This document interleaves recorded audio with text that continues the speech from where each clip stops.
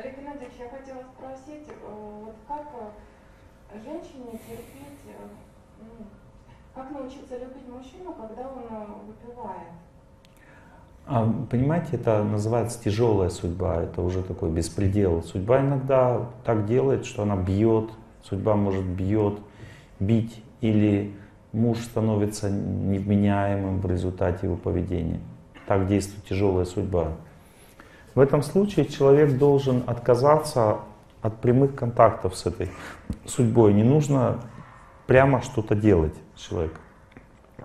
Нужно отделить себя от этого человека, выполнять перед ним свои обязанности, но жить своей жизнью и думать о Боге только. Потому что когда ты реагируешь на эту беспредельную судьбу, она начинает тебя уничтожать. На нее не надо реагировать, надо от нее отодвинуться, с ней ничего не сделаешь.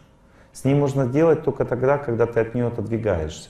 Вот если вы, допустим, ничего просто с этим мужем не делаете, а начинаете становиться счастливой, живете своей жизнью, тогда у него начинает действовать совесть в сердце. А если вы пытаетесь с ним что-то делать, он будет продолжать так жить. Нужно жить на дистанции. Иногда эта дистанция достаточно в одной квартире, иногда нужно ставить условия и жить отдельно, но не бросать человека. Вот, и он тогда начинает исправляться и постепенно бросает пить. Здесь также нужна молитва и поддержка людей, которые занимаются духовной практикой, потому что сам по себе человек, который одержим веселящими духами, а вот это выпивание, это контакт с этими духами, он сам себе оскверняет психику сильно. Когда ты рядом с ним находишься, ты теряешь себя, становишься тоже такой несчастный. Этому нужен контакт, очень много контакта с людьми, которые занимаются духовной практикой. Вот это вот все вы должны сейчас сделать. Но если вы лично хотите с ним что-то сделать сейчас, когда он не хочет ничего менять, это безумие. Или человек, допустим, вас бьет, вы тоже с ним продолжаете жить рядом.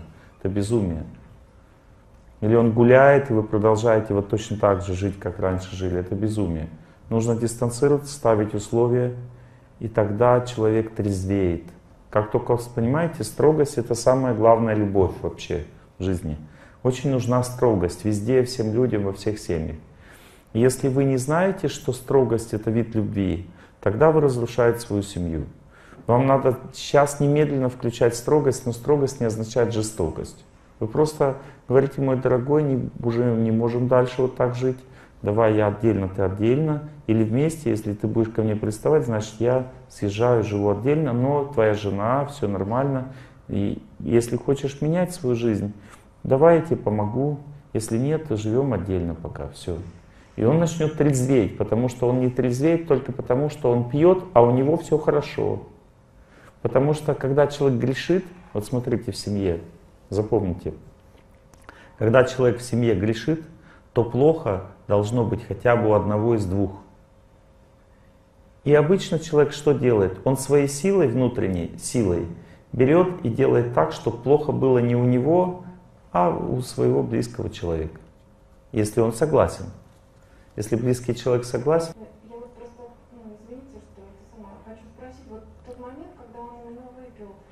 Не чувствую к нему любви, вот говорите, что нужно все это делать, строгость проявлять, э, любя. А не, любя означает, это доброта, это не означает наслаждение человеком. Вы осквернены им, он когда выпил. Это противно становится, человек становится противным.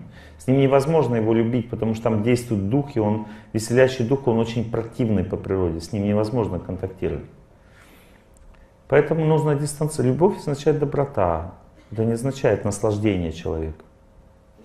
Не должна себя чувствовать виноватой, да, что вот я не люблю его в этот момент. А как вы можете наслаждаться чем-то грязным?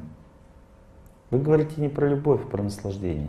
Любовь означает, что вы с ним живете рядом, вот это и есть любовь. Вы верность проявляете, заботитесь о нем, вот это и есть любовь. А наслаждаться человеком, иногда мы наслаждаемся, иногда нет.